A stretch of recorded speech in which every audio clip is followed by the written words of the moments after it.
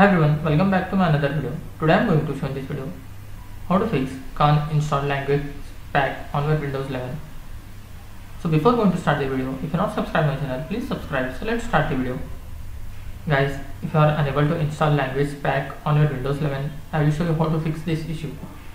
This the first option is how to click on start menu, then click on settings, then click on system.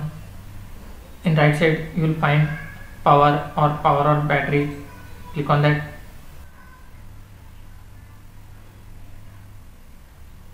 here you can see power mode in this you have to select as best performance then this window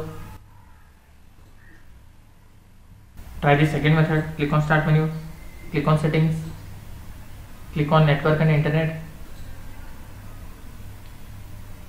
click on ethernet or wi-fi as per your system.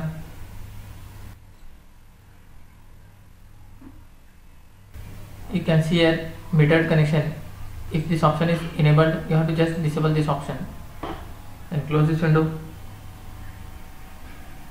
The third option is you can fix by trying your windows update troubleshooter. For that you have to just click on start menu then type here troubleshoot click on troubleshoot.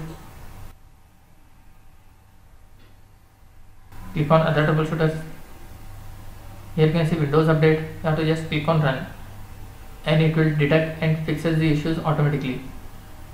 And close this window.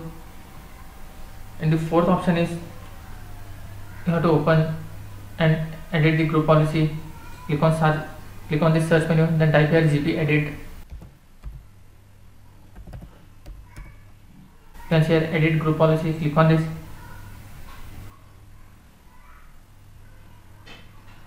expand this window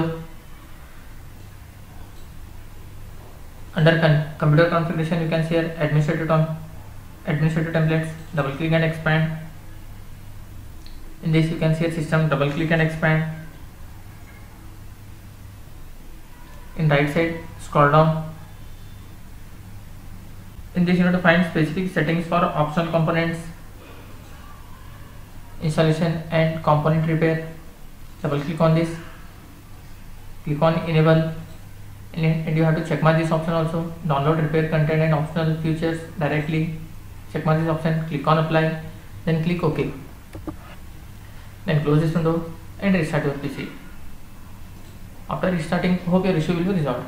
That's it guys. So in this way you can fix cannot install language pack on your windows 11 thanks for watching. Hope if you like this video please like share and don't forget to subscribe